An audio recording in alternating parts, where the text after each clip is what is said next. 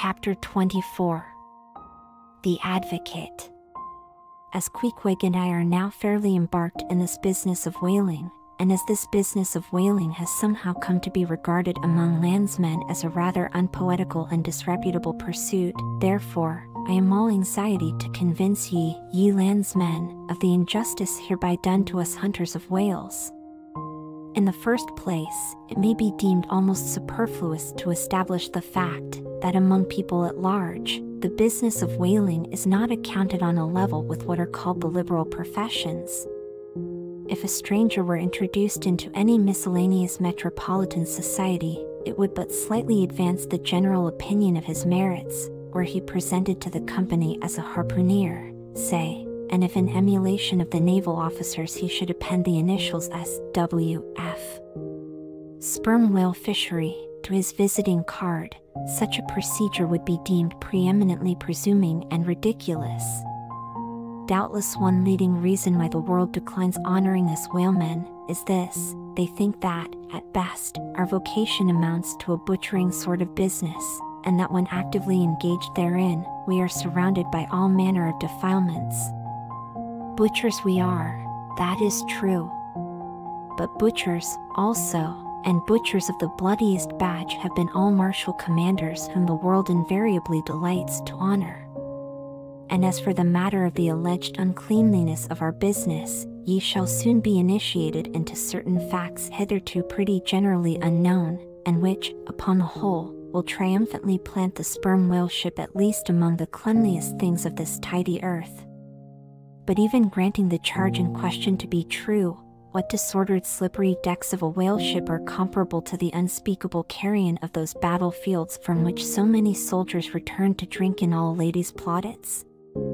And if the idea of peril so much enhances the popular conceit of the soldier's profession, let me assure you that many a veteran who has freely marched up to a battery would quickly recoil at the apparition of the sperm whale's vast tail, fanning into eddies the air over his head.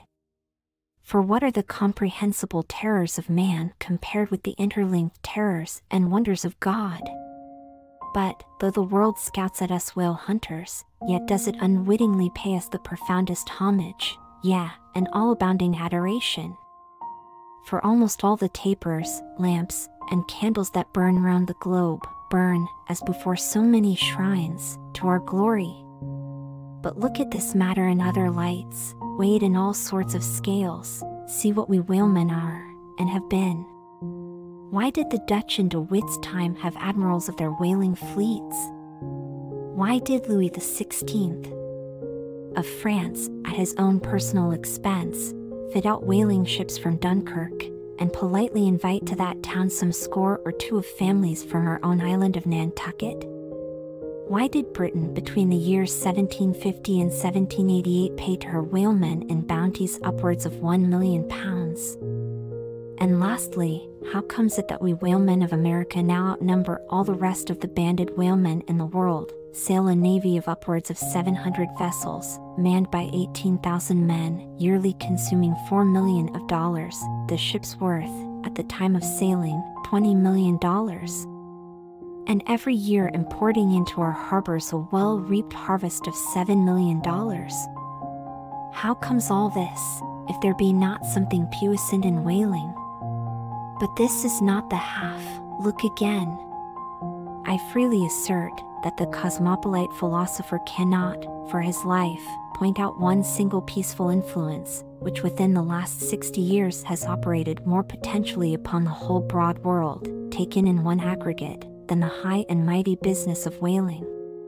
One way and another, it has begotten events so remarkable in themselves, and so continuously momentous in their sequential issues, that whaling may well be regarded as that Egyptian mother, who bore offspring themselves pregnant from her womb.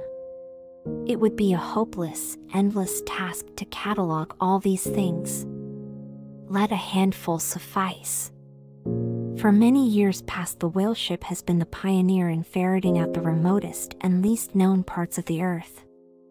She has explored seas and archipelagos which had no chart, where no Cook or Vancouver had ever sailed.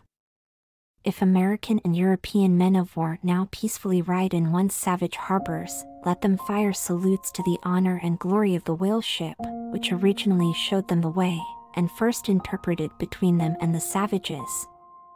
They may celebrate as they will the heroes of exploring expeditions, your cooks, your Krusensterns, but I say that scores of anonymous captains have sailed out of Nantucket that were as great and greater than your cook and your Krusenstern.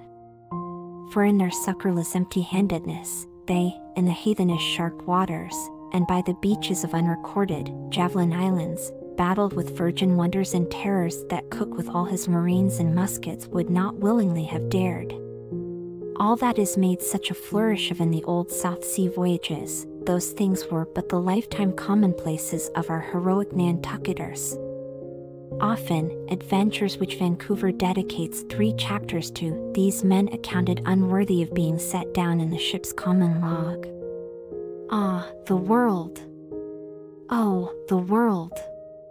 Until the whale fishery rounded Cape Horn, no commerce but colonial, scarcely any intercourse but colonial, was carried on between Europe and the long line of the opulent Spanish provinces on the Pacific coast. It was the whaleman who first broke through the jealous policy of the Spanish crown, touching those colonies, and, if space permitted, it might be distinctly shown how from those whalemen at last eventuated the liberation of Peru, Chile, and Bolivia from the yoke of old Spain, and the establishment of the eternal democracy in those parts. That great America on the other side of the sphere, Australia, was given to the enlightened world by the whaleman. After its first blunder-born discovery by a Dutchman, all other ships long shunned those shores as pestiferously barbarous, but the whale ship touched there. The whale ship is the true mother of that now mighty colony. Moreover, in the infancy of the first Australian settlement, the emigrants were several times saved from starvation by the benevolent biscuit of the whale ship luckily dropping an anchor in their waters the uncounted isles of all Polynesia confess the same truth and do commercial homage to the whale ship that cleared the way for the missionary and the merchant, and in many cases carried the primitive missionaries to their first destinations. If that double bolted land, Japan, is ever to become hospitable, it is the whale ship alone to whom the credit will be due, for already she is on the threshold. But if, in the face of all this, you still declare that whaling has no aesthetically noble associations connected with it, then am I ready to shiver fifty lances with you there, and unhorse you with a split helmet every time. The whale has no famous author, and whaling no famous chronicler, you will say. Underscore the whale no famous author, and whaling no famous chronicler? Underscore who wrote the first account of our Leviathan. Who but mighty Job? and who composed the first narrative of a whaling voyage. Who, but no less a prince than Alfred the Great, who, with his own royal pen, took down the words from Other, the Norwegian whale hunter of those times. And who pronounced our glowing eulogy in Parliament? Who, but Edmund Burke? True enough, but then whalemen themselves are poor devils, they have no good blood in their veins underscore no good blood in their veins? Underscore they have something better than royal blood there. The grandmother of Benjamin Franklin was Mary Morrel, afterwards, by marriage, Mary Folger, one of the old settlers of Nantucket, and the ancestress to a long line of Folgers and harpooneers, all kith and kin to noble Benjamin, this day darting the barbed iron from one side of the world to the other. Good again, but then all confess that somehow whaling is not respectable. Underscore whaling not respectable? Underscore whaling is imperial. By Old English statutory law, the whale is declared a royal fish. Asterisk O, that's only nominal. The whale himself has never figured in any grand imposing way. Underscore the whale never figured in any grand imposing way underscore in one of the mighty triumphs given to a Roman general upon his entering the world's capital, the bones of a whale, brought all the way from the Syrian coast, were the most conspicuous object in the symbol procession. Asterisk asterisk see subsequent chapters for something more on this head. Grant it, since you cite it, but, say what you will, there is no real dignity in whaling. Underscore no dignity in whaling? Underscore the dignity of our calling the very heavens attest. Cetus is a constellation in the south. No more. Drive down your hat in presence of the Tsar, and take it off to Queequeg. No more. I know a man that, in his lifetime, has taken 350 whales. I account that man more honorable than that great captain of antiquity who boasted of taking as many walled towns. And, as for me, if, by any possibility, there be any as yet undiscovered prime thing in me, if I shall ever deserve any real repute in that small but high hushed world which I might not be unreasonably ambitious of, if hereafter I shall do anything that, upon the whole, a man might rather have done than to have left undone, if, at my death, my executors, or more properly my creditors, find any precious manuscripts. In my desk, then here I prospectively ascribe all the honor and the glory to whaling, for a whale ship was my Yale College and my Harvard,